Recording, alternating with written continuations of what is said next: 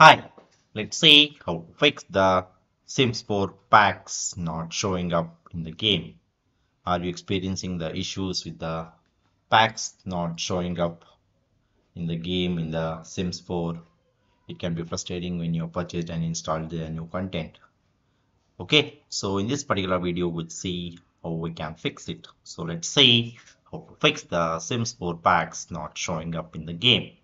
First method is repair the Sims 4. This process can help to resolve any corrupted game files that might be causing the packs to not show up. Open your origin game library. Right click on the Sims 4 icon and select the repair. This will initiate the process to check for and repair any corrupted game files that might be causing the packs to not show up.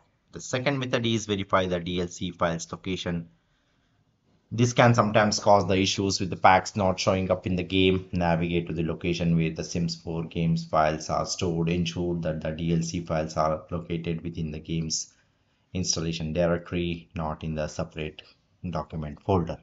The third method is remove the mods. If you have mods now installed, try removing them as they can sometimes conflict with the proper display of the expansion packs in the game if you have made if you have mods installed navigate to the folder where your mods are stored move the mods to the different location outside the sims 4 directory or the delete them temporarily. The fourth method is delete the origins caches. Deleting the caches in the origin client may help resolve the issues of the packs not showing up in the game. Open the origin client navigate to the application settings or the preference menu look for the option to clear up the caches or the temporary files within the client. This process may vary depending on the specific versions of the origin client you are using.